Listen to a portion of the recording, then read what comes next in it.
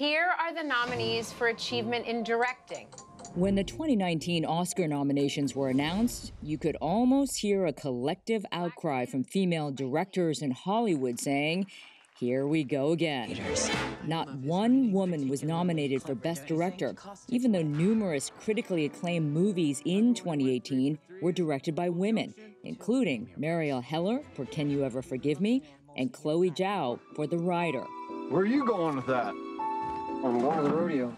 Only five women have ever been nominated for Best Director, and just one, Kathryn Bigelow, has actually won. That's right, just one woman in 91 years. Because of you know gender politics and racial politics, and because women and people of color are marginalized in the entertainment industry and almost every other industry, we just don't get recognized. Renee Tajima Pena has been an award winning documentary filmmaker for more than 40 years. In 1988, her documentary feature, Who Killed Vincent Chin, was nominated for an Academy Award. And in that same year, two other women of color, Mira Nair and Lisa Yasui, were nominated in different categories. So we thought, oh, wow, this is the wave of the future. And then decades after that, you know, nada, nothing happens.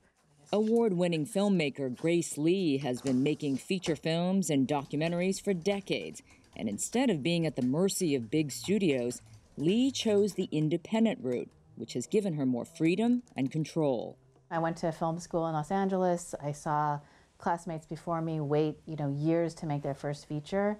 And, you know, documentary was always something that I had worked in before. I was like, I can do that like now. I don't need to wait or I don't need to wait for someone to give me permission. I've never waited for permission.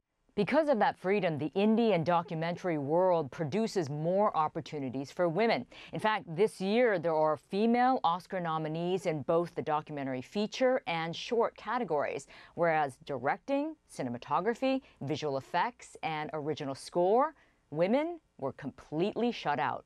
These are voodoo dolls, and I made this one. I got into filmmaking because I wanted to see films featuring people of color, women, Asian Americans, you know, images that I've never seen before. That's why I'm in it, and that's why I'm going to, you know, continue to make those kinds of projects. Hi, I'm Grace Lee. My name is Grace Lee. May Lee, CGTN, Los Angeles. My name is Grace Lee. This is Grace Lee. My name is Grace Lee.